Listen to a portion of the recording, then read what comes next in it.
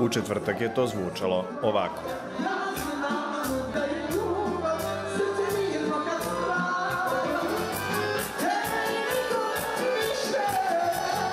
Petak je na gradski trg doneo zvuke violine.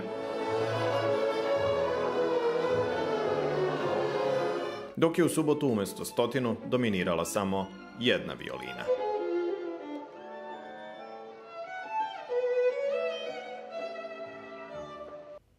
A između ovih upriličeni su i drugi koncerti u parkovima, dok su kulturne institucije izložbama i promocijama predstava i filmova privukle brojne generacije pod svoje svodove. Sve ustanove kulture su, su se priključile obeležavanju Dana grada, e, Narodno pozorište sa svojim predstavama, sa dramom i na srpskom i na mađarskom jeziku, e, brojne izložbe, promocije filmova, pozorišne predstave.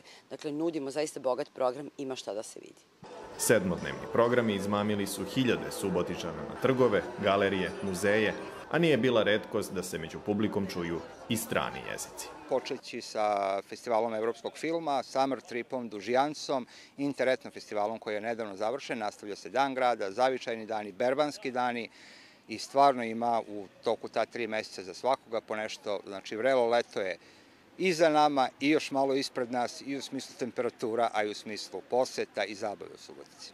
Karnevalski duh Subotice nastavlja da živi i dalje, jer će njene ulice i trgove za desetak dana zaposesti lutke sa svih strana sveta u okviru Međunarodnog festivala Pozorište za decu.